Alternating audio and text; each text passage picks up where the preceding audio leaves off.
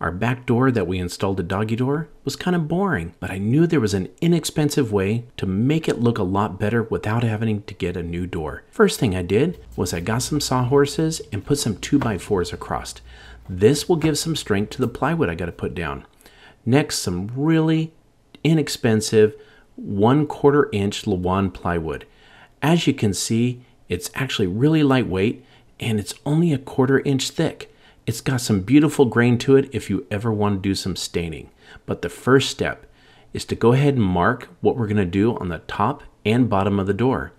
I'm going to go with six inches on it, but we need to make sure we put some tape down because this type of plywood will splinter. So we're going to mark six inches across the bottom and we're going to go ahead and cut it up.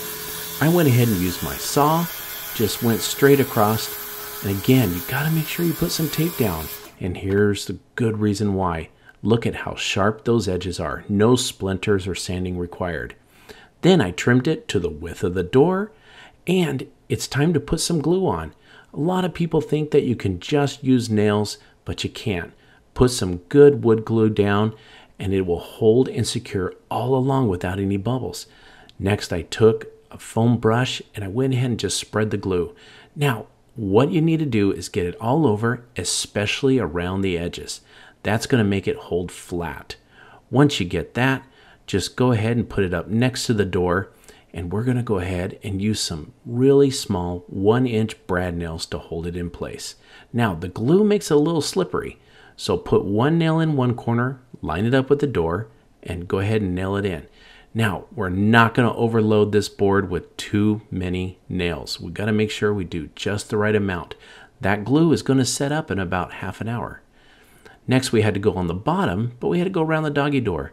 Wanted to make sure that we got it all covered. So put some glue on, snap it into place, and it doesn't take that many nails, and we're just going to use that brad nailer and put it right on there. Next, we got to take the doorknobs off because we've got to put our trim around the sides. Now, six inches along the top, that was the width, but on the sides, we're gonna go a little bit smaller with four inch. Put the glue on the board and again, nail it up and down. Not too many nails, just enough to hold it in place. Now it's time to cut out where the doorknobs were. Again, we gotta use tape. Take a drill bit on the back of the door, go ahead and outline where your doorknob's gonna go. Now, I just went ahead and used my jigsaw and cut out a hole. It's going to come right out, and if you need to go ahead and sand it to make it a little bit smooth, go right ahead. Next, it was time for the last piece. Put some glue on it, and this one we're going to put right in the middle between the doorknobs. Make sure we measure it as straight and perfect. Put some nails in. Now we got to cover up the seams and the nail holes. I went ahead and used some DAP, plastic wood. It goes on pink, but when it dries, it comes the color of the wood. Go ahead on the seams, use a spackle knife to put it in place, but when it comes to the nail holes, all you have to do is just go ahead and put it inside. It dries pretty quick and just rub it off and get it nice and smooth. Once it dries, go ahead and just sand it down, make it look really good. Do that with all of the plastic wood that you put on and get it nice. And next, it's time for paint. I went ahead and used a primer and paint in one. I wanted to get some good coverage. You're going to paint the whole door. We're not going to go with a dual color on this one. We're just going to go with one. So you're just going to paint everything. I used a little foam brush, about four inches wide. It rolls on nice and smooth. I didn't want to use brush because I didn't want any strokes, but here we go. Let's put those doorknobs back on. And do you remember that old door that we had? Look at that. Now, with the trim, how beautiful is that? I only spent about $12 transforming this door. Didn't have to go out and spend $100 to make it look good. I hope you enjoyed this project. We sure did. And we can't wait to see you again on Hometalk. We just bought a house that needed a lot of work.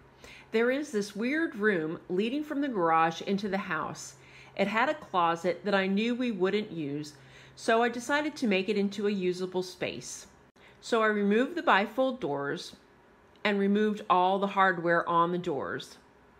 After measuring the length and width of the closet, I transferred those measurements onto the doors and cut them to size. I had to cut both ends of the doors because the way the panels were laid out on the door, I didn't want to cut a panel in half. The width of the doors were wider than my cutting range on my saw, so I just had to flip them over to continue my cut. I cut both bifold doors this way. The doors are hollow core, so I needed to make sure they were strong enough to sit on.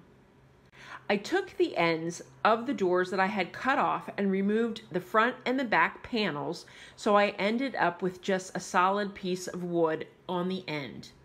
The panels were easy to remove with a chisel and a hammer. I placed the end into the door and nailed it into place. Then I filled the gaps with wood filler for a cleaner look. After all the gaps and the wood filler had dried, I sanded everything smooth, including the door. Next, I primed and painted the door white. It took one coat of primer and two coats of interior paint. Now to cut the frame for the bench. I used 2x4s cut to size. I cut six 14 inch pieces for the sides, four 59 inch pieces for the top and bottom, and six 13 and a half inch pieces for the cross pieces. I used a Kreg jig to drill the holes into the ends for a stronger joint. If you don't have a Kreg jig, you could just screw them together at an angle. But they won't be near as strong. After I cut all the pieces, I laid the bottom of the bench out onto the bottom of the closet and screwed the pieces into place. Then the side or vertical pieces were next, which I screwed into the bottom of the frame. The top of the bench was built just like the bottom and assembled outside the closet. Once it was together, I placed it on the vertical pieces and screwed them into place. Now I had a nice solid frame. With the bifold doors cut to size, I used one for the front of the bench sliding it into place. I had to use a rubber mallet because it, it was a little tight.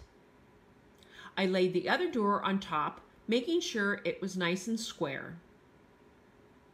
The doors were not as wide as the closet, so I measured the distance between the wall and the door and cut a 1 by 4 to size. I also cut thin pieces for each edge of the door of the bench this was to ensure that when you lifted the bench lid up, you wouldn't scrape the sides of the wall. I painted those boards to match, laying the door and the 1x4 into place. I screwed the 1x4 into the frame. I filled the holes with wood putty, and then I screwed on the hinge. The bench was complete. After a fresh coat of paint on the walls, a new shelf, and some antique finds, the room was now functional space that we use every day. The extra storage we now have is great for all of our beach gear and outdoor items. I hope this inspires you to transform an unused area in your home into something amazing.